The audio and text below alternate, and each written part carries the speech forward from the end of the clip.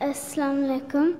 My name is Mariam. My question is if someone does something really bad, then what does Allah recommend in the Quran to give them a punishment? Sister, that's a very good question. That if someone does something bad, what is the punishment recommended by Allah in the Quran? Depending upon the sin done, we have to realize that Allah subhanahu wa ta'ala has got various ways of guiding the person.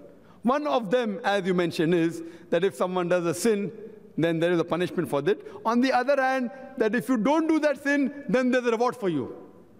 So one of the aspects is, if you don't do this, if you don't drink alcohol, there's a reward for you. If you don't rob, there's a reward for you. And the reward will be here, also in the akhirah.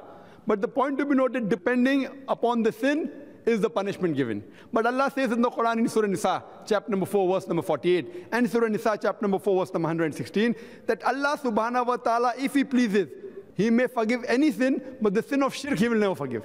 Shirk, associating partners with God, Allah subhanahu wa ta'ala will never forgive. Any other sin, if He pleases, He may forgive. So we as Muslims, what we should do, that if we see someone doing sin, our beloved Prophet Muhammad said, that if you see anything wrong, if you can stop it with the hand, stop it with the hand. If you cannot stop it with the hand, then stop it with the tongue. If you can't stop it with the tongue, the least you can do is curse in your heart, and then you will be the lowest level of momin believer.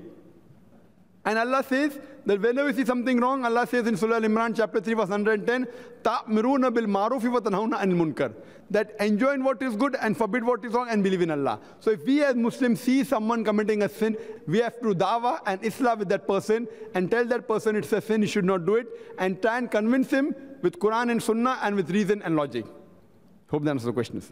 तो आप लोगों ने सुन लिया दोस्तों, मैं सिर्फ़ और सिर्फ़ इस एक बात पर हैरान हूँ कि कितनी छोटी उम्र में इनके इनके साथ ये फ़िक्र रहती है कि मतलब कि ये इस इस कॉन्फ्रेंस में आते हैं। हमारे छोटे बच्चे, देखिए, आप लोगों ने कहाँ पर उन्हें किसी कॉन्फ्रेंस में आते हुए देखा होगा या किसी सारे टिकटॉक की वजह से तबाह हो चुके हैं। तो अपने बच्चों की बेहतरीन तरबियत करना इंतहाई आजकल के ज़माने में हम पर फ़र्ज़ है क्योंकि आने वाला दौर अल्लाह आलिम के वो कैसा होगा। अभी ये टिकटॉक और स्नैक वीडियोस का दौरान चल रहा है तो कोशिश करें कि अपने बच्चों की बच्चों की इस तरह वीडियोस दिखाए और उनको, उनकी तरबियत ऐसे हो कि वो एक मुसलमान के शक्ल में हो तो इसके लिए ज़रूरी है कि आप वीडियो को शेयर भी करें। तो दोस्तों के साथ भी वीडियो को शेयर करें अगर पसंद आई हो और इसके बारे में आपकी अगर कोई राय हो तो वो भी आप मुझे कमेंट के ज़रिए ज़रूर बताएँ।